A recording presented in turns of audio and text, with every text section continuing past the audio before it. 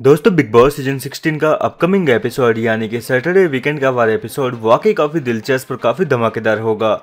क्योंकि दोस्तों upcoming episode के दौरान घर के अंदर दिखाया जाएगा एविक्शन जी हाँ दोस्तों, इस हफ़्ते घर से बेघर होने के लिए सुम्बुल तोकिर खान, सौंदर्य शर्मा और अर्चना गौतम नॉमिनेटेड है।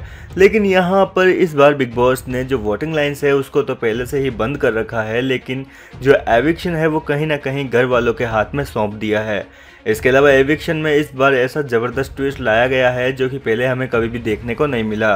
दरअसल दोस्तों, यहाँ पर सलमान खान तीनों ही नॉमिनेटेड कंटेस्टेंट को एक्टिविटी एरिया में बुलाएँगे और वहाँ पर उनसे कहेंगे कि आप तीनों अपने एक एक जिगरी दोस्त को बुला लीजिए, जो कि आपके लिए कोई फैसला ले सके।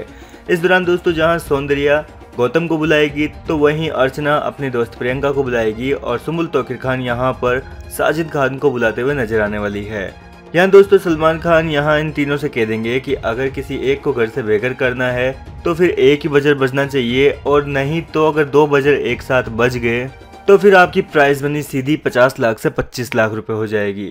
हालाँकि पूरा टास्क किस तरीके से होगा, ये तो हमें आने वाले एपिसोड के दौरान पता चलेगा और देखना दिलचस्प होगा कि क्या यहाँ पर सुमुल तोकिर खान बच पाती है या नहीं। फ़िलहाल आपका इस मुद्दे पर क्या है कहना, अपनी राय कमेंट करके ज़रूर बताएँ। लेटेस्ट अपडेट्स के लिए चैनल को सब्सक्राइब ज़रूर करें।